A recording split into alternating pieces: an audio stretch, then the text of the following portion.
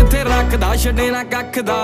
ਲੰਡੂਆਂ ਦੀ ਕਿੱਕਲੀ ਪਵਾਈ ਰੱਖਦਾ ਨੀ ਮੁਫਤ ਚ ਕਰਦਾ ਇਲਾਜ ਸ਼ੱਕਦਾ ਨੀ ਵੈਸੇ ਸਾਡਾ ਇੱਕ ਇੱਕ ਮਿੰਟ ਲੱਖ ਦਾ ਉਹ ਬਾਉਂਸ ਨਹੀਂ ਹੁੰਦੇ ਮਿੱਤਰਾਂ ਦੇ ਚੈੱਕ ਨਹੀਂ ਉੱਚੀ ਉੱਚੀ ਸੁਣਦੇ ਆ